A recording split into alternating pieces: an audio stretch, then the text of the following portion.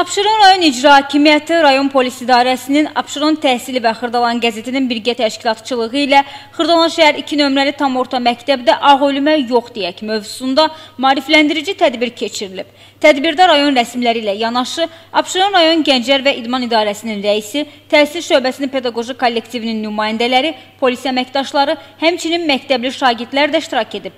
Tədbiri giriş nitqi ilə açan Xırdalan şəhər 2 nömrəli tam orta məktəbin direktoru Ədalət Camalova rayonda yeniyetmə gənclərin narkomanlıq və digər zərərli vərdişlərdən qorunması üçün aparılan işlər barədə ətraflı məlumat verdi. Gənc nəslin savadlı, vətənpərvər ruhda böyüməsi, sağlam inkişaf etməsi, zərərli vərdişlərdən uzaq olması üçün görülməli olan işlərdən danışdı. Abşeron rayon polis idarəsinin xidməti üzrə rəis mavini Elçin Rəcəbov müasir dövrün ən qorxulu fəsadlarından olan narkomaniya, onun bəlaları barədə tədbir iştirakçılarının diqqətinə çatdırdı. Bildirdi ki, bəşəriyyət üçün ən böyük bəlalar binalardan olan narkomaniyanın törətdiyi fəsadlara qarşı mübarizə bugün aktual xarakter daşıyır.